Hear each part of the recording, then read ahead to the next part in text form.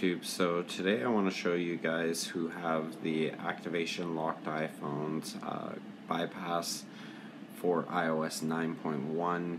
Uh, works with the 9.2 betas and uh, as well as iOS 9.0.2, 9.0.1. This is kind of a temporary bypass. It doesn't allow full access to the home screen, but it allows a lot of access to many different functions of the phone is very useful, so you can at least get some use out of your device instead of it being a brick. Uh, now, to be able to do this, you're probably stuck at this screen like most users. You're going to actually want to head back. You're going to need your device and an active Wi Fi in the area you're in. If you're on the Wi Fi screen, um, just you'll want to hit the home button here, but head into the Wi Fi screen in case you're not. So choose any region as long as it's in your language press and hold the home button for just a second and you'll actually see the options come up here. You're going to want to choose the more Wi-Fi settings. From here, you'll see the little eye and you'll want to tap the eye here. This is going to allow you to kind of change the Wi-Fi that you're on. The thing is though is you've been connected to the Wi-Fi so it's wouldn't it's not going to work. So you're going to need to forget this network what this is going to do is this is going to take all the Wi-Fi settings completely off. You'll want to back right out of there so the next is grayed out. Once the next is grayed out, you're going to want to go to the little eye. Oops, make sure you click the one that you actually want. Now here is where we're going to actually do the bypass. So we're going to use a DNS server bypass. So that means you're going to want to choose the DNS field. Now uh, right up and along here, you're going to see a bunch of different server um, IP addresses in there for different areas. So if you're in North America, you'll choose the top server. If you're in Europe, choose the middle. If you're in Asia, choose the bottom. And then if you um, find that it doesn't work, try changing up the servers. I'm near North America or in North America, so I'm going to choose the North American one. So I'm just going to enter that in.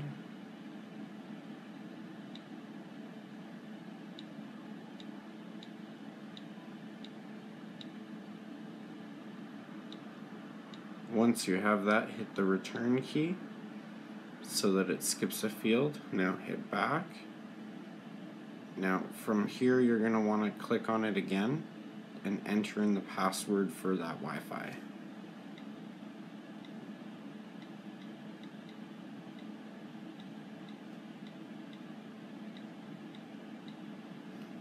So once you've done that, you want to hit join. Now it's going to want to jump you right away into the activation again and you're going to want to click the back button that's just right here.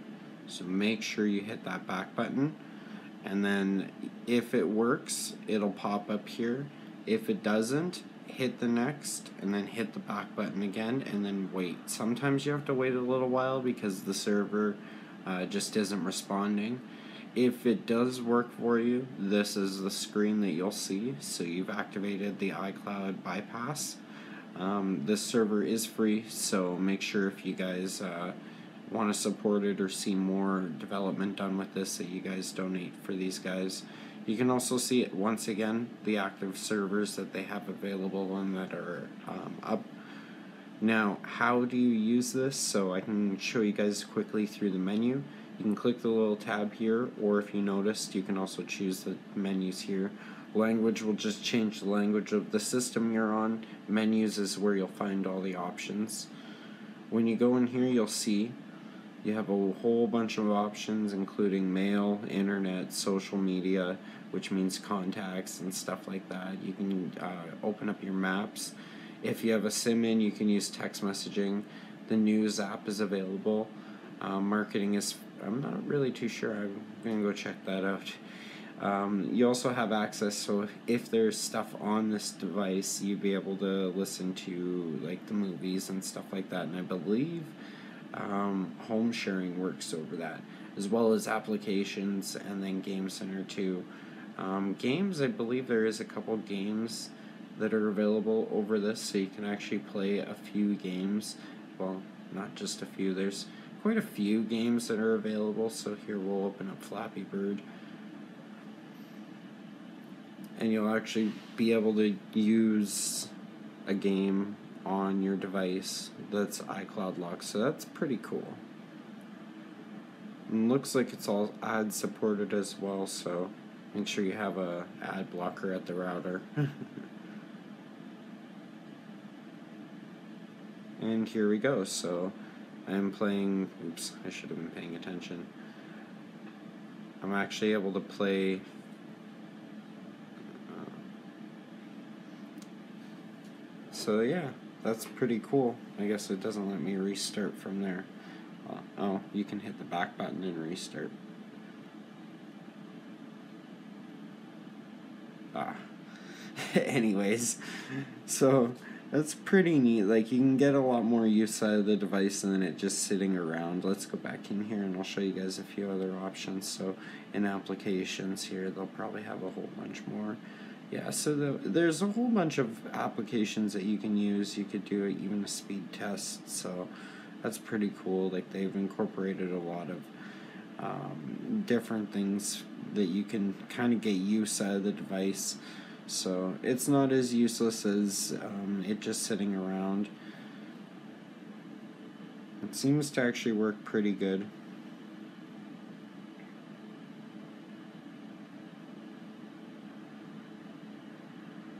I was interested in markets. So you could actually access your bank accounts. You could shop with uh, Amazon and they've incorporated a lot into this. It's really neat to see if it um, can go even further than what it is. And so we can actually see we're locked. So there you guys go. That is the iCloud DNS bypass for iOS 9 users who are stuck uh, you'll get a lot more functionality out of your device than you're getting right now. Definitely check this out. If you have uh, any questions, please leave them down below if it's not working for you. And give this video a like, subscribe to the channel for more iCloud unlocks in the future. Hopefully, we'll actually have a full iCloud bypass. I will definitely cover it if it ever comes out. Thanks for watching, guys. We'll see you again next time. Cheers. Hey guys, welcome back. So in this video I'm going to be talking about two ways in which you can um, get past the activation uh, lock, the iCloud activation lock. So if you guys have bought a device secondhand and it's still locked to someone else's Apple ID, then I'm going to show you how to get past this and um, still bring back some functionality to the device. So I'm going to be showing you one of these methods which I know works 100% for everyone and I'm going to be talking about another method which is actually a better method, but doesn't work on the latest iOS 8.4 just yet. So I'll still explain it though. Anyway, so I'm going to go and you want to start setting up the iPods or the iPhone. So you get you should get it on this screen. Slide to set up. So you slide, choose your language, choose your country, and then when you get to the Wi-Fi, you want to choose a Wi-Fi, put in the correct password,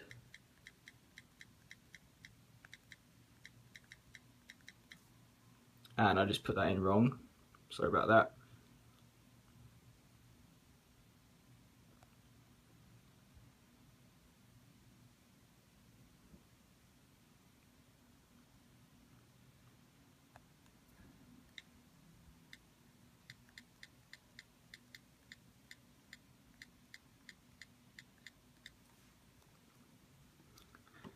Alright, so you're going to connect to the Wi-Fi and then the next button should show or it should take you to the next screen and then you'll be on the activation lock screen. So it says you have to enter the Apple ID that's used to set up the iPod and you can't go any further than that. You can't click next. If you press the home button, you simply just get some options. So to bring back some functionality to this device, all we need to do for the method I'm going to show you is we're going to press the home button once, click on Wi-Fi settings, and it's going to bring back up the Wi-Fi. Wait for the tick to go, then click the I again, scroll down to DNS, and I'll have free DNS servers in the description. You want to choose the one that best suits uh, your country. So, alright, so this is the DNS for Europe. So you want to type that in the DNS and you want to click back. And then you're just going to wait a couple of seconds. Then you want to join the network again. So you want to put back in the password. So I'll quickly do that.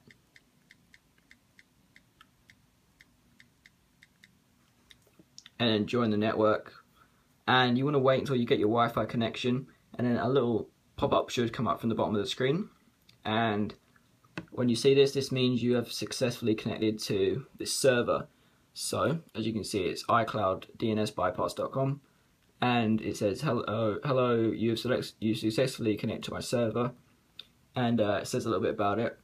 Now, what you can actually do within this server is still use quite a lot of the features within iOS without ever ha actually having to activate the iPod. So, if you go down to, first of all, there's language, so you can choose a language, but then you can go down to menu, and within here, there is a lot of cool stuff. So, first of all, there's an, a chat for everyone who is locked out of their device. So you can actually go in there and chat with other people about it. Um, there's the flashlight, which actually gives you access to the camera. Although it does seem to be a little bit glitchy on the iPod Touch. So if I open up the camera, as you can see, it's just black. It doesn't actually show anything. But you can still use the flashlight within here, which also seems to be a bit glitchy. But yeah, it does have some features there with the camera. But um, what you're going to most likely probably want to use is social, which gives you access to social media. So Facebook, Twitter, many things like that, Instagram. Uh, there's actually just the internet, so you can go to any website you want.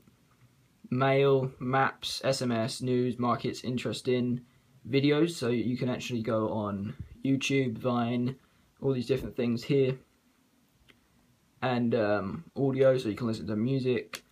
And um, there's applications, and I'm going to go over this in a bit, a bit more detail in a minute.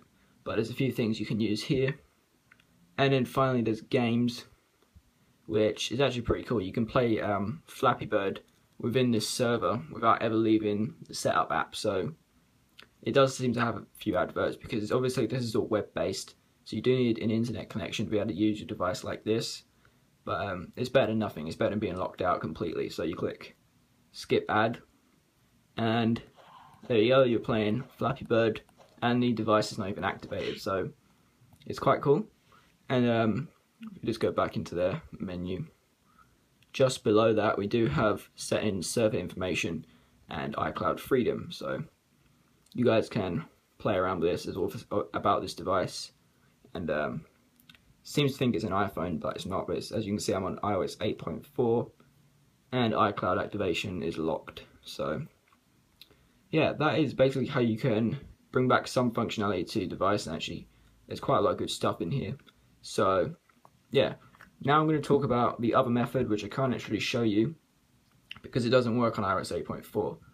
But if you guys are on an earlier version, then you can probably do this, and this is going to be a permanent removal of the iCloud lock. So basically what you do, you do do the same thing I just did. So you get onto this server page. You want to go to menu, applications, and then scroll down to where you see the crashes. So there's crash 3, crash 2, and crash 1. And uh, iOS 7 only, as you see there, crash 1. Then we have captive portal and iOS 8 to 8.3. So what these basically do, these buttons here are designed to crash the setup.app.